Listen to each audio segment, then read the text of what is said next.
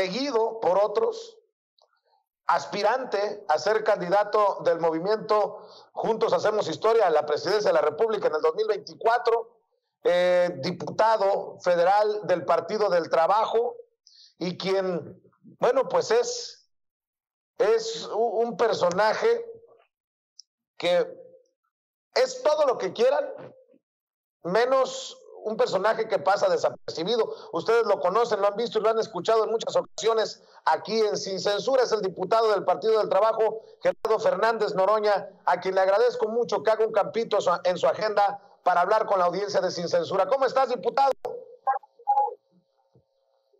¿Qué tal, Vicente? ¿Cómo estás? Buenas tardes, buenas tardes a tu auditorio.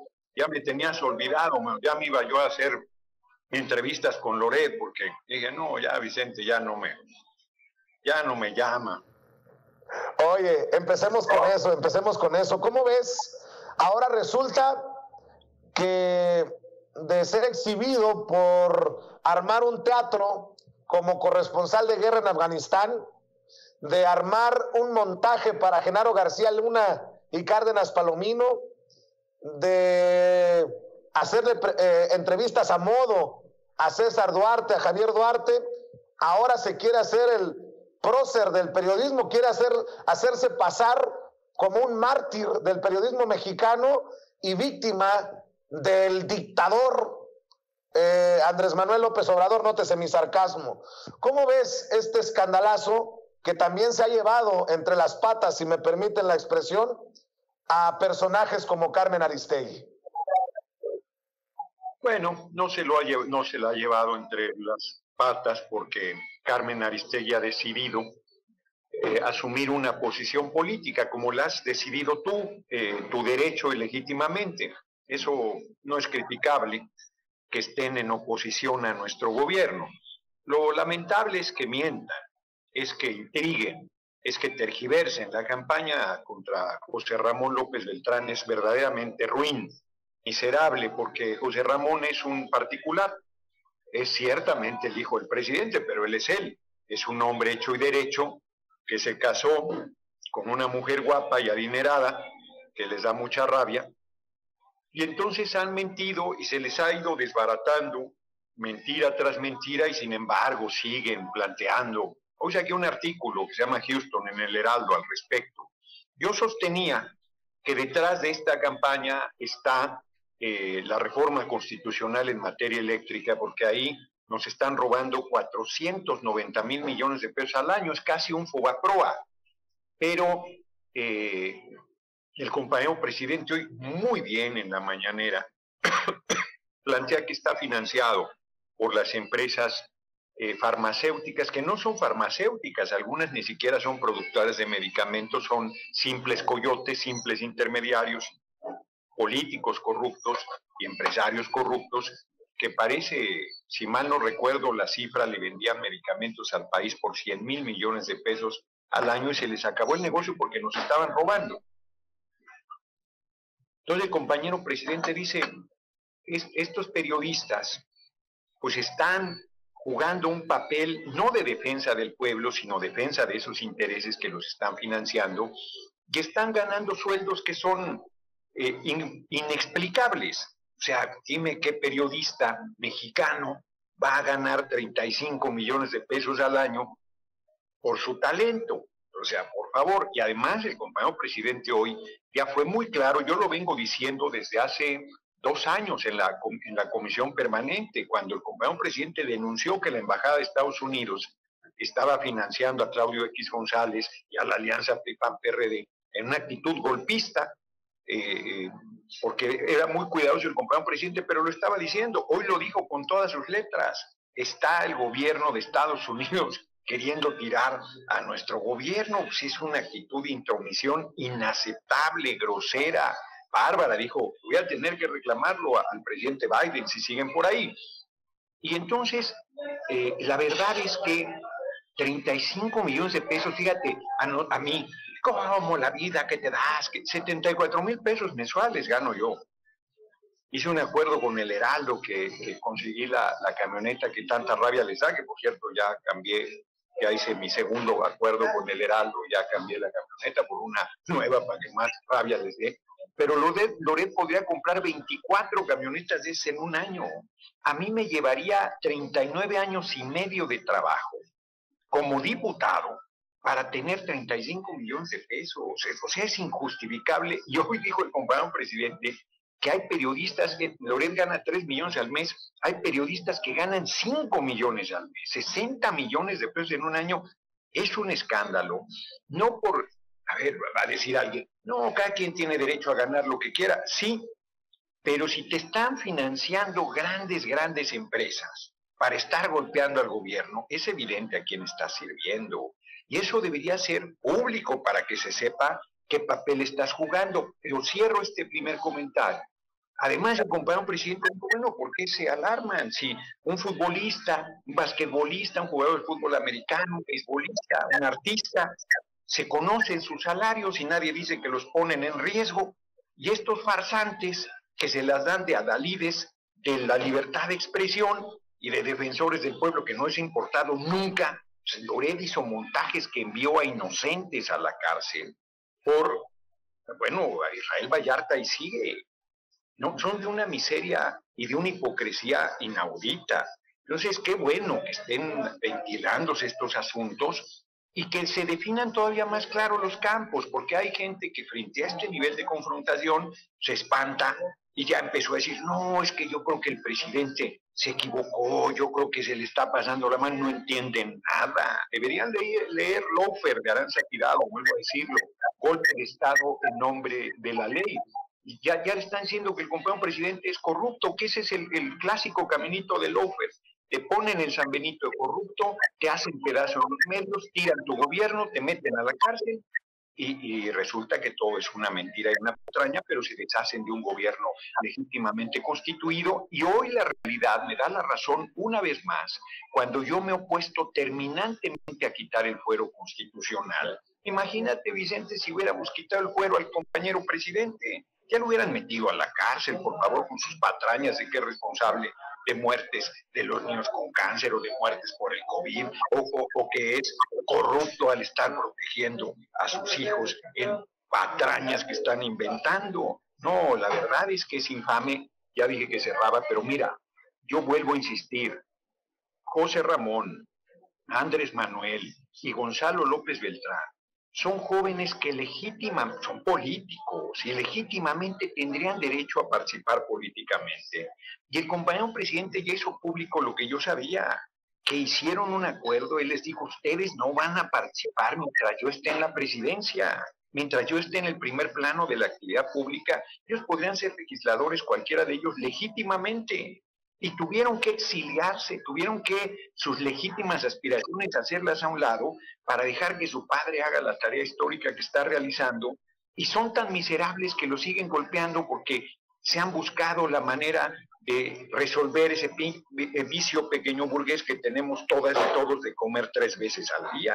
No hay ningún tráfico de influencia, no hay ninguna cosa incorrecta, no son figuras públicas porque no están ni en la actividad política, ni, ni buscando reflectores, ni son, ni tienen cargo de gobierno, y no están haciendo ningún negocio de cobijo del poder. Entonces es verdaderamente ruin la campaña que han hecho contra ellos, y es evidente que va dirigida a este, hacerle daño al compañero presidente, pero no lo conocen tú le picas la cresta y, se va a ir engañando cada vez más. O sea, están perdidos quienes creen que el compañero presidente se va a echar para atrás. Y todo, cada paso que dé para adelante, ahí el compañero presidente cuenta conmigo, con toda violencia. Porque yo en esas cosas no me hago bola y no me tiembla nada el público. Producción que me ayuden con ese ruido. No puede ser del restaurante eh, el ruido. Eh, ayúdenme por favor con los audios, compañeros.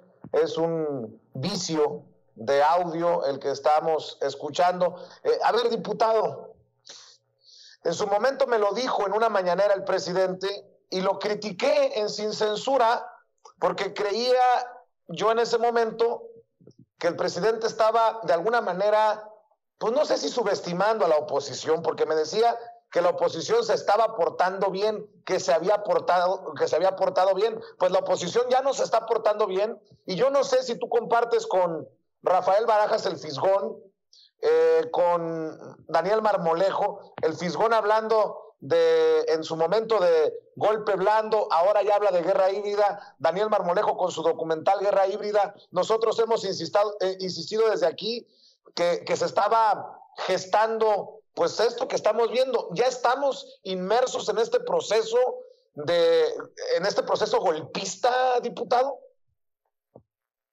Vamos a ver si logramos eh, reconectar con el diputado Gerardo Fernández Noroña. Avísenme, Ceci, por favor. Sí, vamos con el diputado. ¿Me escuchaste, diputado? Sí, sí estoy tratando, no me estoy viendo. Bueno, desafortunadamente no estamos todavía listos para escuchar como se debe al diputado del Partido del Trabajo, Gerardo Fernández Noroña, con quien eh, queremos conversar, conversar de estos conceptos, de estas situaciones, de estas realidades y, ¿por qué no decirlo también, de sus discursos, de sus participaciones en la tribuna de la Cámara de Diputados. Ahí está el diputado haciéndonos un espacio en su agenda. Ojalá que logremos eh, conectarnos eh, con él a la brevedad, con el apoyo del equipo de producción en Chicago. No sé qué pasó, no sé qué ocurrió, pero bueno, pues estas cosas con las que tenemos que lidiar eh, en vivo y en directo en nuestras transmisiones. Mi querido Toño, mientras regresa el diputado del Partido del Trabajo, importante que lo diga él, al final él lo dice. Tanto, se, tanto me criticaron por oponerme a que se le retirara el fuero al presidente, pero era precisamente por estas situaciones, por eh, lo que estamos viviendo, es que yo me oponía y, y, bueno, pues es que sí, hemos visto ya lo que ha ocurrido en Bolivia, lo que ha ocurrido en Ecuador, lo que ha ocurrido en Brasil y obviamente no podemos permitir que ocurra en México. Fíjate, Vicente, que a lo mejor lo que voy a plantear en estos momentos va a sonar eh, verdaderamente infantil, pero ayer platicando con mi madre, con mi mamá, que está de visita aquí con nosotros, le planteaba yo a ella cómo es que eh, desafortunadamente los tiempos políticos son terribles, como es que tal vez en algún pasado podíamos hablar del honor. Hoy el presidente López Obrador incluso compara al periódico Reforma con, con la mafia y dice, y hasta en la mafia hay códigos de honor. Imagínese usted, eh, desde el conservadurismo no tienen códigos del honor. Eh, uno pensaría que, vamos, eh, de alguna u otra forma, siendo conservadores o no, siendo conservadores o liberales, siendo de derecha o de izquierda, cada quien va a defender sus posturas, pero en buena lid y en buena fe, creo, en definitiva, que no lo están haciendo en buena fe. Eh, creo en definitiva que hay situaciones terribles que se traducen precisamente en eso, en el golpe blando, en la guerra híbrida. Considero que hay, hay situaciones eh, que, que, que, no se pueden tocar, que no, como es la, la familia. Hoy el presidente López Obrador lo señaló una y otra vez, se meten con mi familia en el reforma, con puras calumnias, esto es un golpe directamente hacia mi familia, eh, no, no, no puede ser así. Y, y, por eso es que a lo mejor el discurso de nuestro eh, colaborador en estos momentos de nuestro invitado Gerardo Fernández Noroña, diputado del PT, eh, resuena de esa forma. Yo sigo pensando en que los políticos no deberían tener fuero, pero tiene, tiene Gerardo mucha razón al decir que si pudieran, ya lo habrían metido a la cárcel los conservadores al presidente López Obrador. Eh, y lo intentaron en su momento, intentaron meterlo a la cárcel, lo acusaron formalmente de como 11 delitos en aquel entonces cuando lo desaforaron, ¿no? Eh, y, utilizando pues estratagemas que son verdaderamente bajas, no humanas, estrategias terribles. Eh, en eso tiene razón. Creo que a lo mejor la ausencia del fuero funcionaría en un país donde las instituciones fueran fuertes ¿no? y, tuvieran algún tipo de, de, seguridad para los mexicanos. Te, te lo planteo así, Vicente. Así es, déjame regresar, Toño, muy interesante lo que dices. Déjame regresar con el diputado Gerardo Fernández Noroña. Diputado, te decía que en algún momento me lo dijo en una mañanera, un planteamiento de tu servidor. Se lo critiqué al presidente porque pensé que en ese momento estaba subestimando a la oposición. Decía, se han portado bien, que no se habían portado mal. Bueno, pues en este momento histórico no se están portando bien, se están portando muy mal y van con todo contra la cuarta transformación, contra el presidente mismo y contra lo que se les ponga en medio con tal de regresar al poder esos eh, de los intereses inconfesables. ¿Tú crees que ya estamos inmersos en este proceso de guerra híbrida, de guerra de golpe blando? A mí me parece que siempre hemos estado. Ellos tuvieron que reconocer el triunfo en 2018, hicieron fraude, hicieron todo para cerrarle el camino al compañero presidente. Ya viste lo que este INE representa. No es que apenas esté cambiando Lorenzo Córdoba su posición. Él siempre ha pensado igual. Y se adornan diciendo que gracias a ese INE, no, a pesar de ese INE, tuvieron que reconocer su derrota porque fue abrumadora. Por primera vez en décadas, yo podría decir que por primera vez casi en 100 años, el, el pueblo decide una presidente por mayoría absoluta todos los que habían gobernado durante las últimas décadas se habían, habían sido la minoría mayor, no mayoría absoluta, más del 50% de los votos.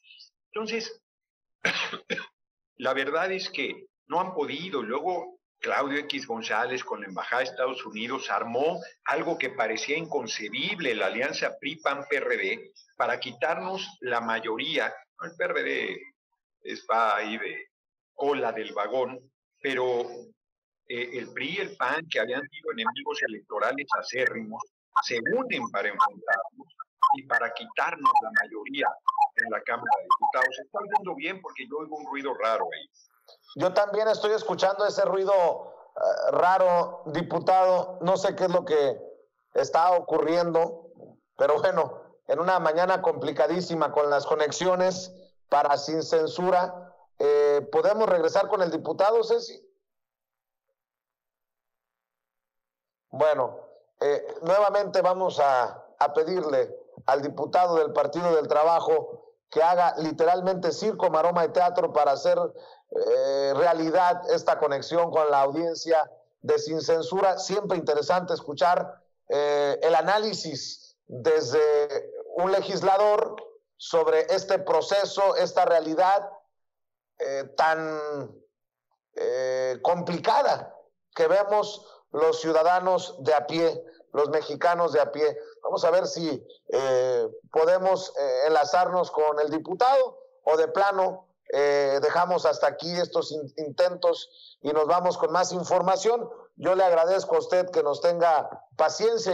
Ya son casi, ya es casi la una de la tarde, tiempo de la capital de México nos vamos a extender tal vez otra hora debido a el cambio de horario de la mañanera. Ya ve que se realizó en Tijuana, Baja California, esta mañanera de hoy jueves desde el norte del país, desde Baja California, y bueno, como hay diferencia de horarios, eh, es, lo, es lo que nos tiene literalmente pariendo chayotes, como decimos en el pueblo, por eh, eh, buscar ese balance entre la información, entre los horarios y, bueno, pues eh, en eso estamos. Eh, mi querida Ceci, ¿ya tenemos? Bueno, no lo tenemos. déjeme saludar al maestro Gerardo Villegas. mientras buscamos nuevamente la conexión con el diputado del Partido del Trabajo, Gerardo Fernández Noroña, voy con el tocayo del diputado, con el maestro Gerardo Villegas. Eh, usted me dice, Ceci, ¿con quién vamos? Porque no me metí en las, en las, en las, en la oscuridad. Diputado, anda la perra brava, como digo yo. Están con todo, están con todo y lo que falta se va a ir poniendo cada vez más duro y reitero, quienes andan de tibios, pues se van a ir, porque están en juego intereses económicos enormes. 490 mil millones de pesos al año nos están robando las empresas extranjeras de electricidad. Y nos salen con que energías limpias, cuando están produciendo el 83% de la electricidad los privados con eh, derivados del petróleo. y cuando ellos son responsables de producir el 56% del dióxido de carbono que genera la industria eléctrica en México. Son unos farsantes. Lo que quieren es entregarnos un mercado de 6 millones 300 mil millones de pesos, 6 millones de millones, vuelvo otra vez. Este, entonces, eh, lo de los medicamentos, y le va sumando, ¿eh? le va sumando aquí, acá y allá y acullá, eh, la rapacidad con que actúan siguen actuando, no quieren pagar impuestos, no quieren pagar el agua, no quieren pagar los servicios, no quieren pagar la electricidad, no quieren pagar el salario, eh, quieren seguir explotando al pueblo, concentrando riquezas de manera matadera. Entonces están con todo y no van a poder derrotarlo, no van a poder. Yo estoy convencido que vamos a mantener la unidad, Estoy convencido que vamos a ganar los seis estados que están en juego este año, los dos del año siguiente, Estado de México dentro de ellos. Y francamente, Vicente, creo que cada vez se van generando mejores condiciones para que yo pueda hacer el relevo del compañero presidente, porque no hay duda de que lo que se va a requerir es profundizar esta revolución sin violencia. Si damos un pasito atrás, nos van a hacer pinoles. Es momento de definiciones. Y en esas definiciones, pues yo siempre he estado muy claro en la posición que hay que tener. Oye, eh, diputado, ¿qué piensas, por cierto, de estas eh, protestas eh, en la Cámara de Diputados, en el Senado, ya en dos mañaneras consecutivas? Mm, con mucho respeto lo digo, de, de las que se están colgando esos que quieren meter en el mismo costal de los periodistas vulnerados a Carlos Loret de Mola. Y yo he dicho que desde aquí, lo digo fuerte, nosotros no somos Loret de Mola. Los que están siendo amenazados, atacados, tampoco son Loret de Mola. Y, y creo que muchos colegas no se están dando cuenta, como pareciera que mínimo, eso es lo que pasa en el caso de Carmen Aristegui, no se están dando cuenta que están fortaleciendo y legitimando de alguna manera a Carlos Loret de Mola. ¿O cómo lo ves tú, diputado? Yo creo que sí se dan cuenta. Yo creo que es muy obvio que están tomando partido. Ellos no han protestado nunca frente a asesinatos. Fíjate qué curioso, empiezo a hablar y sale el pinche triciclo ese sin, aceite, que mientras no estoy hablando no se escucha. Eh, ellos saben perfectamente, cuando ocurrieron a Carmen Aristegui de MBS, no dijeron nada. Nosotros protestamos. Ni un periodista. Álvaro Delgado es de los pocos que alzó la voz con Peña, pero no han dicho nada durante décadas frente a asesinatos, desapariciones, encarcelamientos. Pedro Canché en Quintana Roo fue enviado 10 meses a la cárcel por defender a los indígenas maya que les estaban cobrando abusivamente el agua. Muy pocos, prácticamente nadie alzó la voz cuando mataron a Valdés en Sinaloa, cuando atentaron contra la vida de este, periodista destacadísimo, que me falta el nombre, es que me desconcentra ese ruido horrible que se oye, que se oye. Eh, Blancornelas en Baja California, no les ha importado nunca nada. De la fuente de la Cámara son la mayoría pues, de derecha, han decidido fijar una posición en contra de nuestro gobierno y ser, lo digo con toda franqueza, de la derecha. Habrá alguien que por mareado eh, se equivoque, pero en términos generales tienen demasiada experiencia como para no darse cuenta en qué bando se están planteando. Eso no quiere decir que no reclamen la violencia que hay, los asesinatos, que no son desde el poder. No es nuestro gobierno el que está asesinando, no es nuestro gobierno el que está inventando delitos para meterlos a la cárcel. Ellos saben que pueden hablar, mentir, intrigar, con absoluta libertad, ya no digo expresarse libremente, engañar, tergiversar, manipular la información, distorsionar los hechos, y no les va a pasar nada. Pueden plantarse frente al presidente y hacer el cuestionamiento más duro que tengan, y no les va a pasar nada. Se están faltando a la verdad. Y bueno, qué bueno que se manifiesten. Ojalá lo hubieran hecho antes, ojalá lo sigan haciendo, sea quien sea quien gobierne este país y ojalá sobre todo actúen con honestidad, porque si tuvieran una reflexión seria sobre lo que está pasando, no estarían.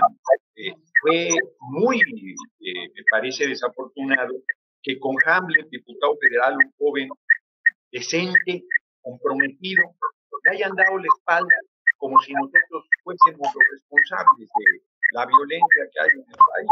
Eh, es eh, francamente muy torcido. O sea, igual que, que los padres que tienen hijos que tienen cáncer, el problema está ahí.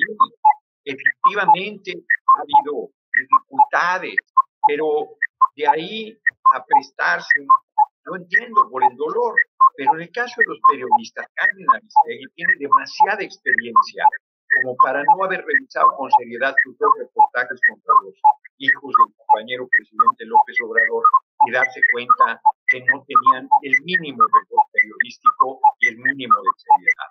Así es que, mira, este, esta musiquita de fondo que nos han puesto es sí. Eh, de franco sabotaje, ellos que son tan eh, promotores de la libertad de expresión.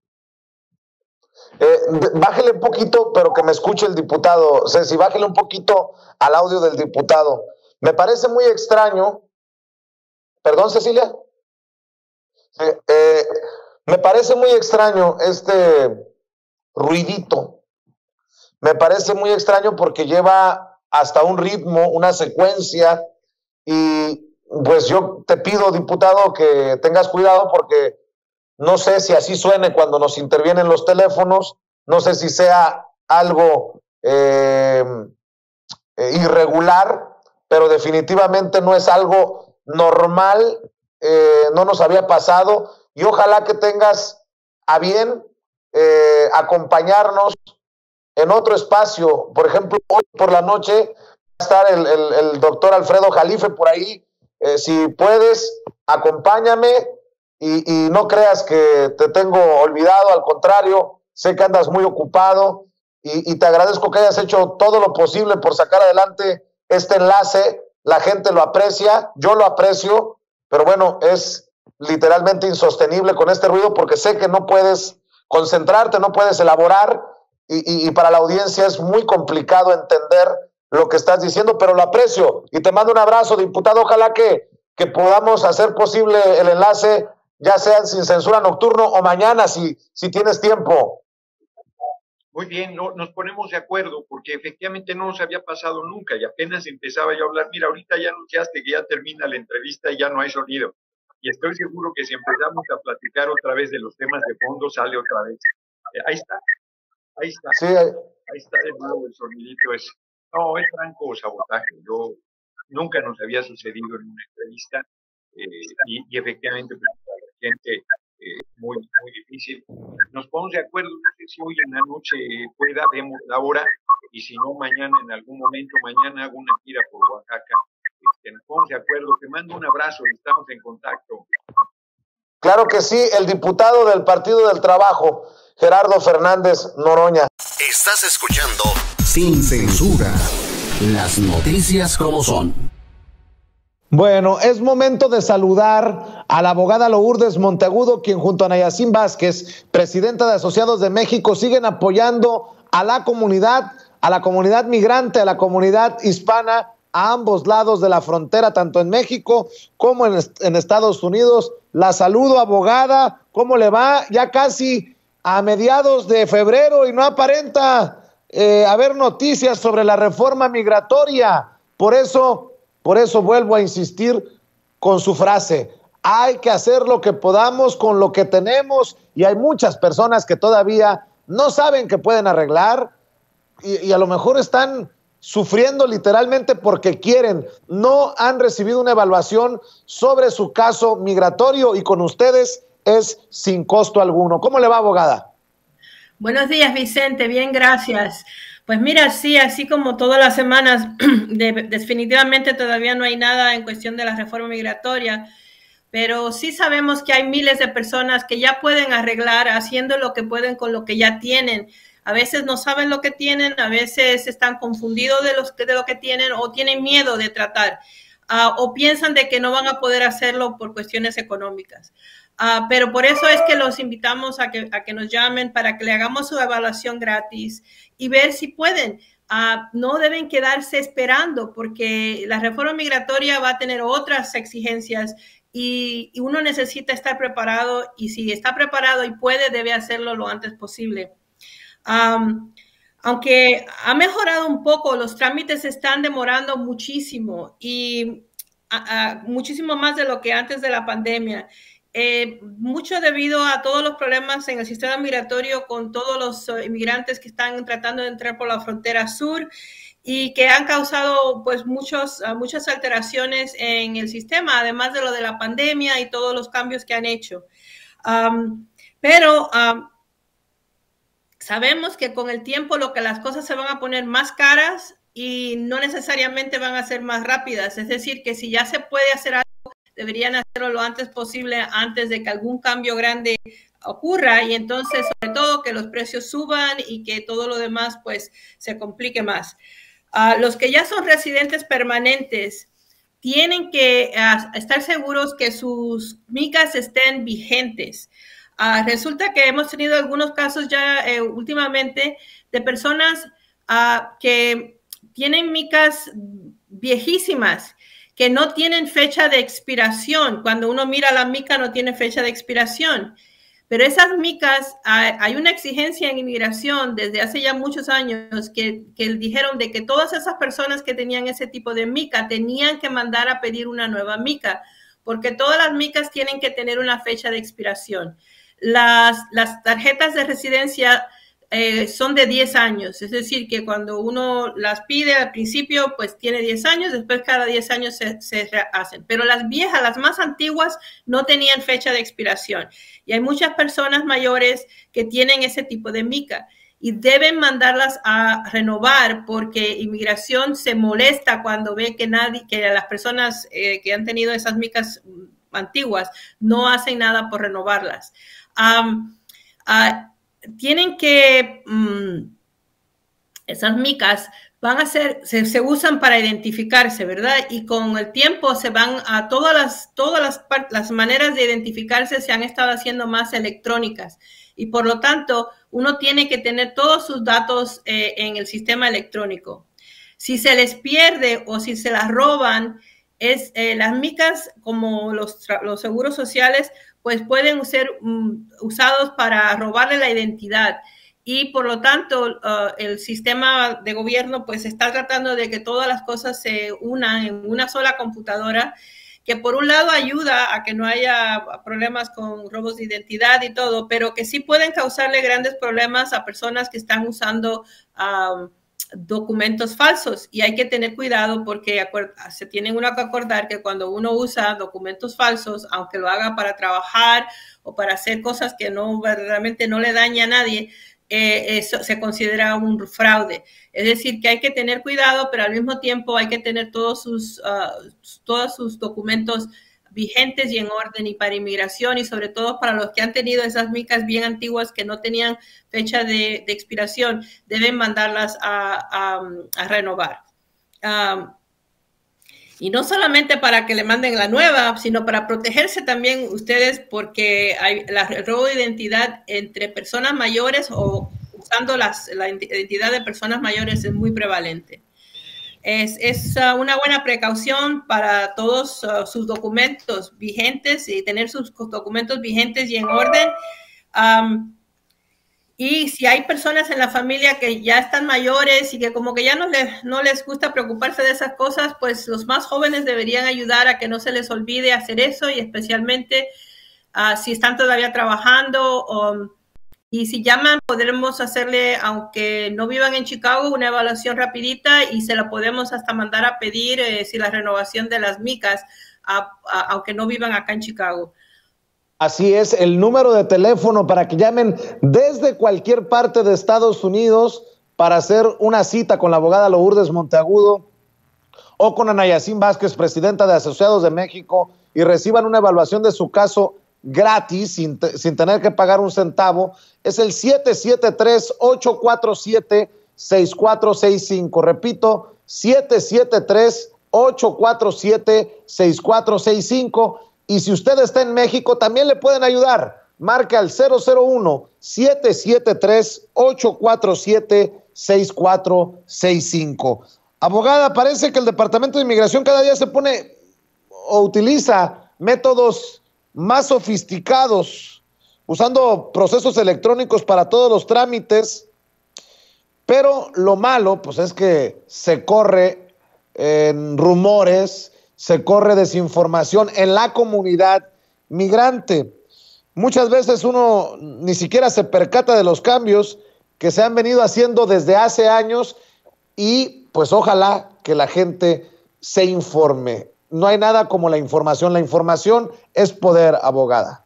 Así es, eh, Vicente. Y eh, bueno, por un lado, pues todo ha cambiado porque o está cambiando porque hay una sofisticación ya muy grande con todas las cuestiones eh, electrónicas y todo se está haciendo a ponerse más y más difícil para las personas que están usando documentos falsos, porque verdaderamente eh, todo el sistema migratorio comenzó a, crear este sistema más unido desde el tiempo de, del, este, del presidente antes de Obama, para que empezaran las computadoras a unirse. Y entonces están uniendo todos los sistemas, toda la información de los diferentes sistemas.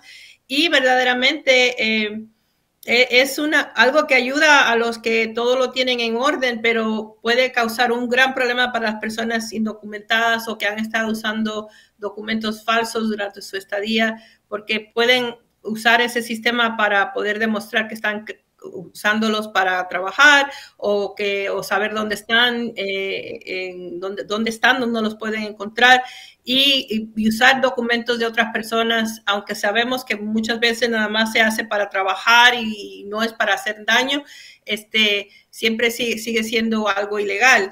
Así que hay que tener mucho cuidado y hay que tener todos los documentos de uno en orden y al mismo tiempo, pues, acordarse de que cuando uno está trabajando con documentos que no son de uno, que pudiese haber un caso de fraude. Así que hay que tener mucho cuidado.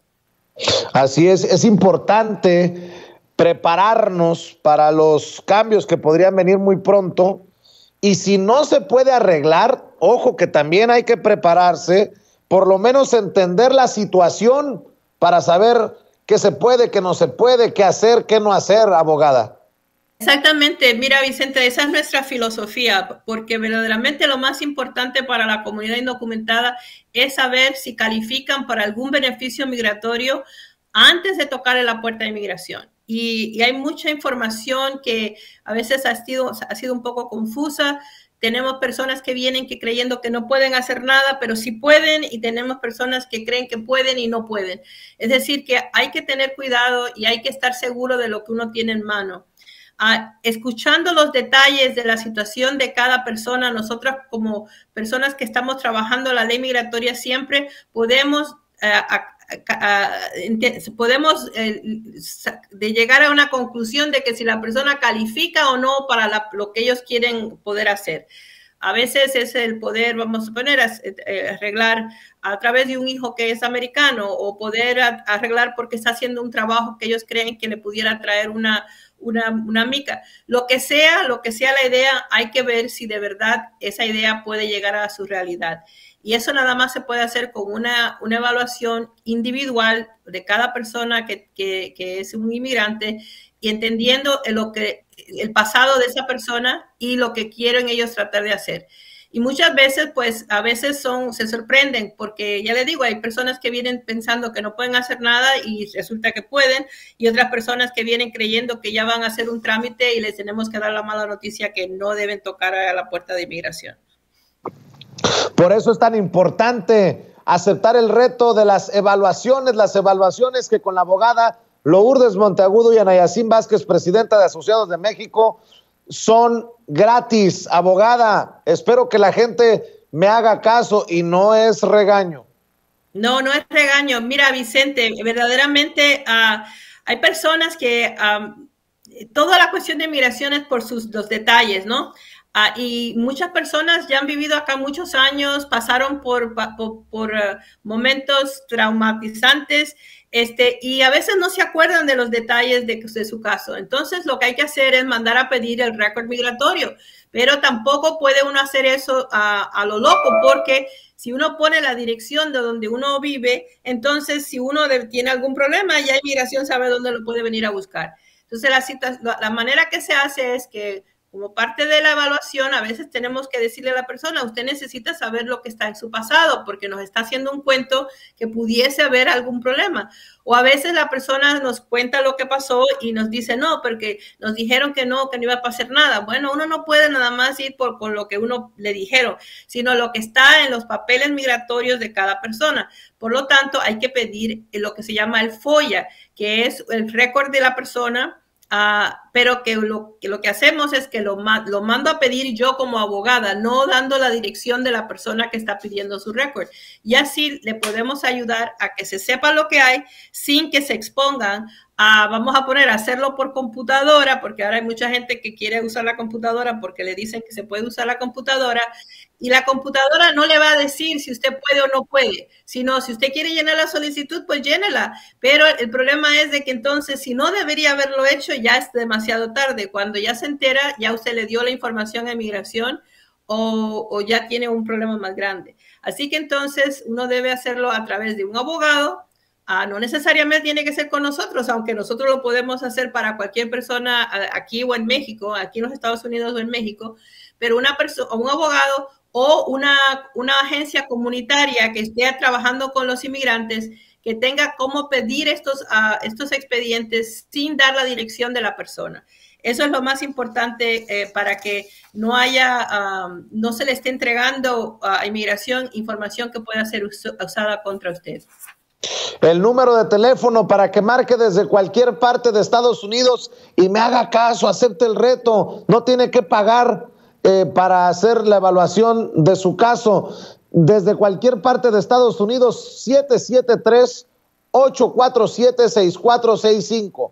773-847-6465 y desde México al 001 773 847-6465. 001-773-847-6465. Yo se lo he dicho anteriormente que trabajar con la abogada Lourdes Monteagudo y con Anayacín Vázquez, presidenta de Asociados de México, es como trabajar en familia. Verdaderamente se quitan eh, la camisa para ayudarle, verdaderamente hay un trabajo eh, minucioso eh, y es que está en juego el futuro de las personas y de las familias completas, abogada. Sí, mira, Vicente, nosotros no somos perfectas, pero sí tenemos, ah, y no tenemos ninguna magia tampoco, porque a veces uno piensa ¿no? que hay alguna magia, pero no hay magia ninguna, es el, nada más el conocimiento y las ganas de poder ayudar a, personas como nosotras, porque nos enorgullece poder ayudar a tantos que han llegado a llegar a sus metas y para que tengan un futuro que les puede cambiar eh, la vida. nosotros somos inmigrantes también, eh, tenemos, tuvimos familias grandes que tuvimos que pasar por todos los mismos trámites que eh, las personas tienen que pasar en este momento. Y sabemos lo difícil que eso puede ser emocionalmente, pero también financieramente. Por lo tanto, la manera que, eh, que yo tengo eh, estructurada la oficina es de que le damos las evaluaciones gratis para que no haya problema de que tengan que pagar por algo que puede ser que pues la noticia no sea tan buena. Además, le damos planes de pagos ah, basado en lo que usted puede pagar, no en lo que nosotros queremos que usted pague. Obviamente lo que se le tiene que pagar a inmigración, como los, lo, que, uno tiene que mandar, pues eso es lo que uno tiene que hacer, pero nosotros podemos esperar para poder para, para que nos paguen poco a poco y hacerle a cada uno un plan de pago diferente porque verdaderamente lo que puede hacer uno no lo puede hacer el otro. Entonces, pues nos, eh, verdaderamente nos da mucha, mucho orgullo poder hacerlo así porque sabemos lo, lo, difícil que fue para nuestras familias poder pasar por estos pasos y el llegar a poder hacerlo y ayudarlos a hacerlo, pues siempre nos da mucha alegría a nosotras. La preocupación más grande, más grande que tenemos todos es si podemos o no podemos. Y por eso queremos hacer que esa pregunta se conteste rápidamente con las evaluaciones. Así es. Esto, esto que está diciendo es muy importante por la experiencia personal. Tanto usted como Anayacín llegaron a los Estados Unidos como inmigrantes y básicamente tuvieron que pasar por los mismos pasos que tendrán que pasar muchas de las familias que busquen su apoyo grande porque éramos muchos hermanos eh, y por lo tanto sabemos y entendemos la situación de cada de las familias que vienen a hablar con nosotros. pero verdaderamente la otra preocupación ah, es que ahora con la cuestión de las computadoras y de los jóvenes que creen que todo se puede hacer por computadora, nos preocupa mucho que hay personas que eh, no entienden de que sí, la computadora les puede ayudar a llenar las solicitudes, pero no les va a dar información de si usted puede o no puede. Ya cuando se entera si puede o no puede, ya, como nosotros decimos en Cuba, metió la pata, porque le dio la información a inmigración de, de cosas que no debería haberle dado y ya no la puede sacar de la computadora. Entonces los jóvenes sobre todo no entienden bien eso porque a veces ni entienden bien la situación de la familia, del, proceso que uno tuvo que, el proceso que uno tuvo para llegar acá, el, por qué a veces parecen las cosas una, de una cosa y, resulta que son otras. Hemos hecho algunas cosas que, que verdaderamente pueden ser usadas contra nosotros. Es decir, que hay que tener mucho cuidado y hay que hacerlo con personas que de verdad estén viendo por su futuro, por, su, por hacer las cosas bien y no nada más que porque le, cobre, le cobren un dinero. Ah, hay personas que se dedican a hacer, yo digo las formitas, es decir, llenar las formitas por la computadora, pero si esa persona no sabe de la ley migratoria, le puede crear un gran problema a usted, ya sea un muchacho joven en su casa o sea una persona que los esté tratando de ayudar porque sabe cómo llenar formitas en la computadora. Bueno, pues ahí están los consejos más importantes de la abogada. Organizar sus documentos, portarse bien y saber dónde están parados antes de tocarle la puerta a inmigración. Ojo, ahora, ahora es importante que usted llame y haga una cita para que le hagan una evaluación gratis de su caso migratorio, porque cada caso tiene sus detalles particulares. Llame desde cualquier parte de Estados Unidos al 773-847-6465. 773-847-6465 y desde México al 001-773-847-6465. 001-773-847-6465. Le mando un saludo a todas las personas que amablemente nos están enviando eh, preguntas. Si no se pueden responder hoy, será la próxima semana. Y si no quiere esperar tiempo, por favor llame y haga su cita, porque lo único que tiene que invertir es tiempo. Lo demás lo ponen la abogada Lourdes Monteagudo y Anayacín Vázquez, presidenta de Asociados de México. ¿Con qué nos despedimos, abogada? Bueno, como siempre, deseándoles a todos mucha salud, a que por favor eh, se porten bien para que no tengan problemas con la ley, eh, evitando que haya cualquier problema ah, de ese tipo que después haga que no puedan hacer lo que hubieran podido hacer sin ese problema. Eh, y llamando a la oficina para su evaluación, porque tenemos que saber lo que usted tiene para poder saber lo que puede hacer sin tener que estar esperando ni siquiera la reforma migratoria. Ah, hemos añadido capacidad telefónica para tratar de evitar algunas ah, esperas largas que hemos, sabemos que hemos, han tenido. Ah, y también se pueden comunicar haciendo preguntas a través de nuestra página de Facebook, que usualmente yo contesto personalmente. Así que gracias a todos y bueno, pues hasta la próxima semana, Vicente, que todos, que todos estén bien. Claro que sí, le mando un abrazo y por favor salúdenos a Nayacín Vázquez, presidenta de Asociados de México. Querida eh, Lourdes, recibo un abrazo fraterno. Gracias, igualmente, igualmente, Vicente. Hasta luego. Gracias. Sin censura, con Vicente Serrano. Amigos, amigas, regresamos en breve, pero mientras seguimos hablando sin pelos en la lengua, sin censura, usted puede suscribirse a nuestros tres principales canales en YouTube. Sin Censura Media, en donde tenemos más de 1.600.000 suscriptores. Sin Censura TV, en donde tenemos más de un millón de suscriptores. Y en Sin Censura Presenta, en donde queremos llegar muy pronto a los 100.000 suscriptores. Si usted ya está inscrito en Sin Censura Media, suscríbase en Sin Censura TV. Si ya está suscrito en Sin Censura TV y Sin Censura Media, suscríbase a Sin Censura Presenta. Recuerde que es gratis, no tiene que sacar un solo centavo de su bolsillo para apoyarnos. Dele clic en la campanita para que los señores y señoras de YouTube envíen las notificaciones cuando estemos transmitiendo en vivo y en directo o estemos subiendo videos. También nos puede seguir en Twitter en arroba guion bajo Vicente Serrano y hasta en Instagram. Ojo, ¿eh? También estamos en Instagram. Son nuestras redes sociales y con el apoyo de ustedes seguimos creciendo, porque con ustedes todo, sin ustedes nada.